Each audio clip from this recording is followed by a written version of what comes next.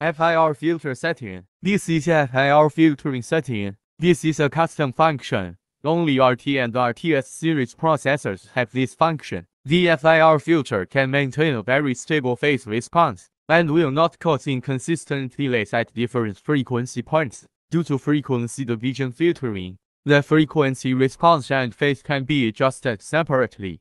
The type number range is from 3 to 896. On the left is the FIR curve. You can visually see the adjustment status of the filter. The right side is the setting area of the FIR filter. Select the corresponding channel. Click Edit to adjust.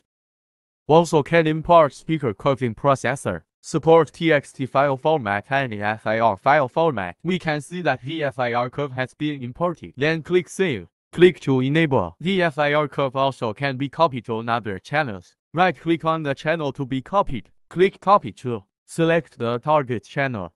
Click Copy. A prompt will pop up after the copy is successful.